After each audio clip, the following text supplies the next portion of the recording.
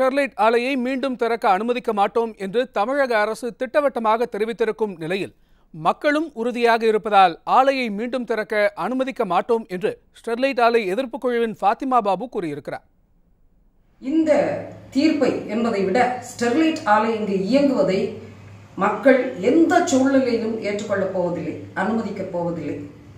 இது குறித்து நாங்கள் அடுத்த கட்ட நடவடிக்கை குறித்து நகர்வு குறித்து அவசர ஆலோசனை கூட்டம் கூடவிருக்கின்றோம். அதன் அடிப்படையில் அடுத்த கட்ட நடவடிக்கைகள் தீர்மானிக்கப்படும். இதில் ஒன்றை நாங்கள் சாதகமாக பார்க்கின்றோம். தமிழக அரசு மக்களின் பக்கம் உறுதியாக இருக்கின்றது. அந்த ஆலையை இங்கிருந்து அகற்றுவதிலே எல்லா முயற்சிகளையும் எடுப்பதை நாங்கள் உணர்கின்றோம். இது போன்ற முக்கிய வீடியோக்களை உடனுக்குடன் தெரிந்து கொள்ள நியூஸ் ஜே யூடியூப் சேனலை சப்ஸ்கிரைப் செய்யுங்கள்.